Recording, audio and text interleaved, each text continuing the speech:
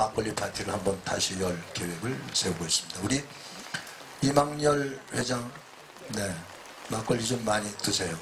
드시고 오늘 여기 오신 분들 중에 시간 되면 전부 개화로 가는 걸로 그렇게 하겠습니다. 자, 다음엔 고인화 어머니의 편지 문정희의 시를 낭송해 드리는 것으로 이렇게 준비하겠습니다. 우리 불일 스님은 지금 전부 담아가지고 편집을 하실 거죠. 네. 우리 불일 스님이 SNS, 유튜브 또 예, 모든 곳에 방송을 다 올릴 겁니다. 그러니까 여러분들 한 분 한 분 또 개인적으로 어, 캡처해서 이렇게 올리도록 하겠습니다. 우리 어머니의 편지 문정희의 시를 낭송할 고인원 씨. 네. 야, 한복을 또 우아하게 차려입고 이렇게 오셨군요.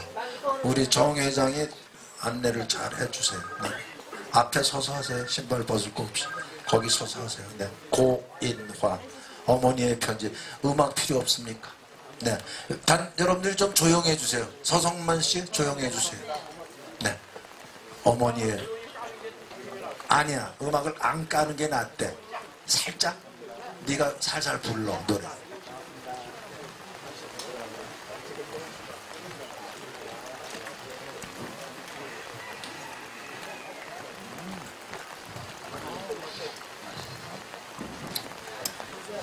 어머니의 편지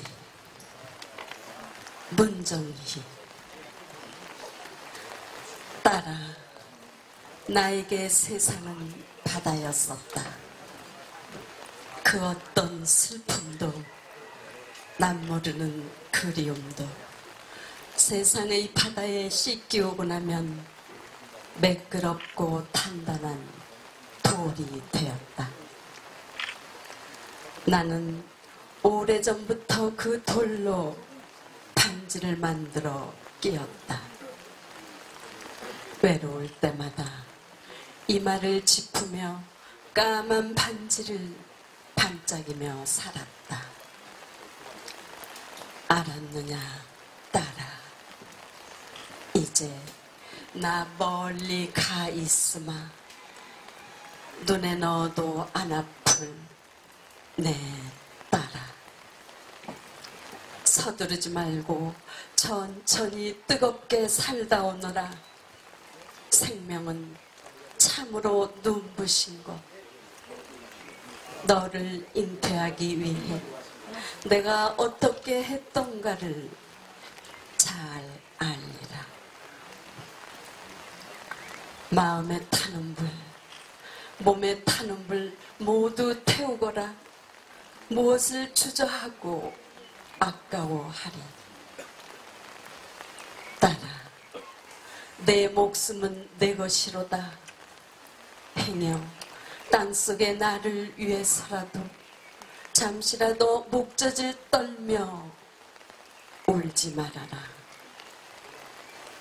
다만 언 땅에서 푸른 잎 돋거든 거기 내 사랑이 푸르게 살아있는 신호로 알아라.